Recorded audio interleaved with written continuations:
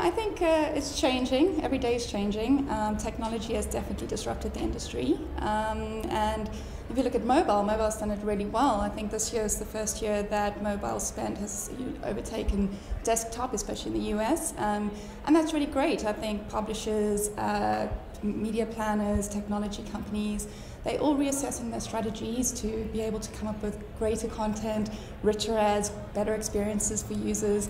Um, and I think you know we're living in a world where it's an increasingly impatient audience, and I think yeah, definitely the users want the information, they want it fast, and we as an industry just need to think about different ways that we can make more creative ads that are impactful, engaging, and user friendly.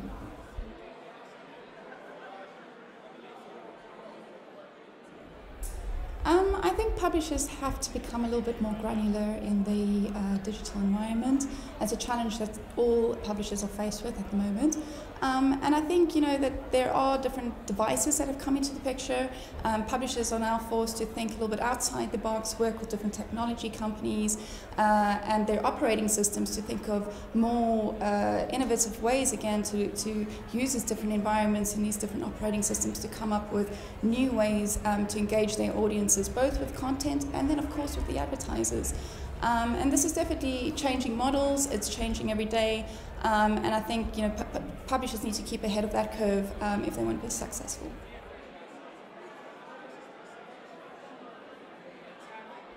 Um, well, I think ad blocking is here to stay. It's not going to go anywhere, and there will always be a new way to block an ad. Um, but I think, you know, again, as an industry, we need to look at relevance and creativity. Uh, we certainly are challenged, for example, mobile uh, being, you know, targeting is, is a big challenge for mobile providers. But you, then again, you're, you're looking at different companies out there that are using different techniques now to improve that situation. You have location targeting, device targeting, and first-party data.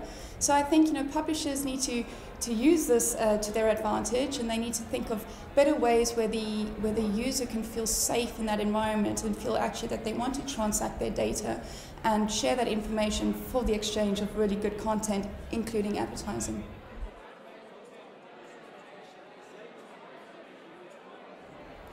um, I think it's a mixture of first of all, they, they need to be align their strategies. So advertisers need to work closer with publishers and technology companies uh, to, to have better targeting and uh, I think better content and, and relevant messages.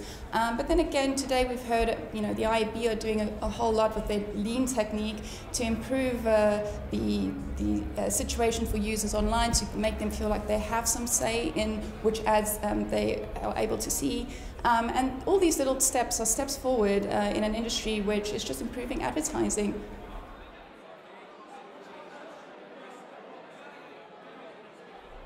Um, I definitely think publishers and advertisers need to work closer with tech companies um, you know, technology is changing every single day. I spoke, you know, earlier about the fact that operate, operating systems are changing, devices are changing. Uh, Apple seems, seems to be leading the way, I think, with a lot of the applications today.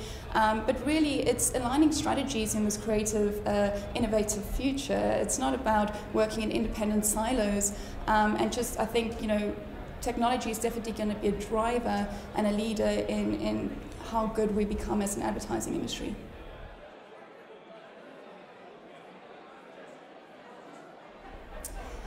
I think you know, Google and Facebook have uh, been very successful at the way they've used data, and I think traditional publishers can actually learn a lot from them. Um, we are now living in a world where it's all about the premiumness is not only in the content, it's in the audience. And the audiences are shifting, they're impatient, they're on different apps. What's relevant to an audience on one app today, which may be Facebook or Google relevant app, could be very different, let's say tomorrow, um, and be on a much more traditional publisher, but again, the same audience. So I think you know, all publishers have a lot to learn from these giants because they have proven that they've used data, you know, successfully. But then again, they can do just as well. And I think, uh, you know, we, we heard earlier on the panel again that we, you know, other traditional publishers should be using uh, the, these giants uh, as, as promotional techniques to get users to their site and to prove that it's the user that is where the quality sits and not just the environment.